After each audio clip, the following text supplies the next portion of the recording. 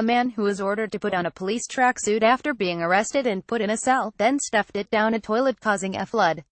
Appearing at Sevenoaks Magistrates Court on Tuesday, November 7, Nikki Burgess, 36, pleaded guilty to causing 80 pounds of criminal damage to Tonbridge Police Station but denied assaulting two police officers at the same time.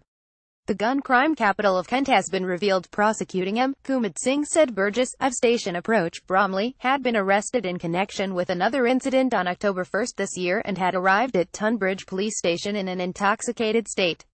She said he was placed in a custody cell but because of his stressed and volatile condition there were concerns in relation to a cord around his middle.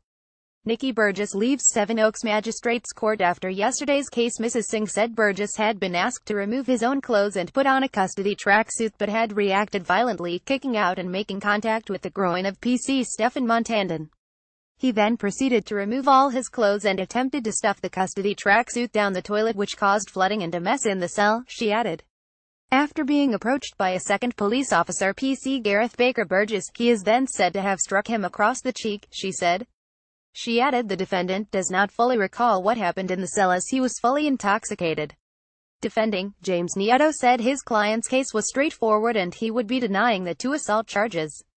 Burgess was released on unconditional bail to return to court on January 3.